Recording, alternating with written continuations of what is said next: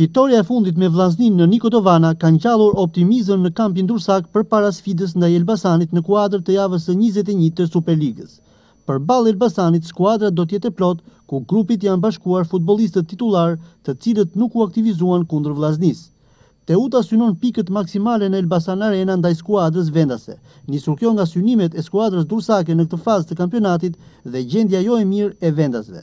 Në dy fazat e para Teuta dhe Elbasani kanë ndarë nga një fitore. Teuta në fazën e parë ka fituar pesë me dy ndaj Elbasanit, ndeshje kjo e luajtur në Peqin, dhe Elbasani i ka kthyer reston Teutës fazën e dytë teksa mori një fitore të pastër dy me zero në Niko Dovana. Aktualisht Teuta mban vendin e tetë në renditje me nëntëmbëdhjetë pikë të grumbulluara në njëzet javë të këtij kampionati dhe Elbasani renditet i nënti me vetëm nëntë pikë të grumbulluara. Ndërkohë superndeshja e kësaj jave do të jetë ajo mes Partizanit dhe Skënderbeut kampion në fuqi.